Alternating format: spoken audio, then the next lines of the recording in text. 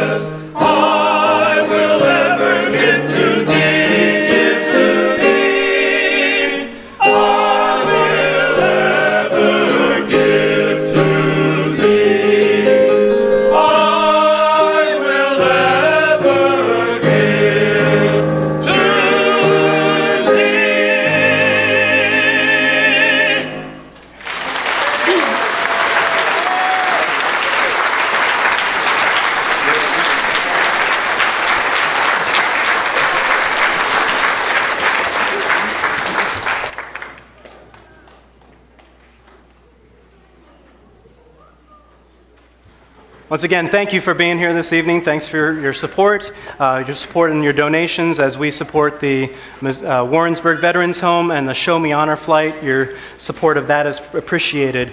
And I can't leave you without one more. And so I have to ask Did you hear about the soldier who survived both mustard gas and pepper spray? He's a seasoned veteran now. Thank you for being here. Have a good evening.